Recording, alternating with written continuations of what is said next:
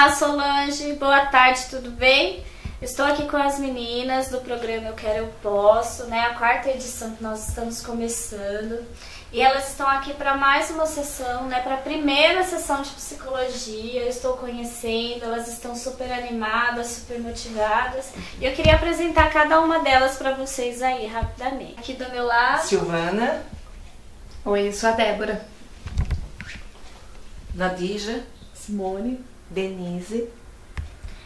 Essas meninas estão com gás total e eu acredito que nós vamos fazer um trabalho bem interessante, né? Nós estamos até dezembro com elas e a psicologia vem para ajudar a mudar os pensamentos, a forma de se comportar, a forma de agir, como nós pensamos sobre o nosso corpo, sobre as nossas atitudes. E eu convido você a vir com a gente a participar também, tá bom? Eu quero.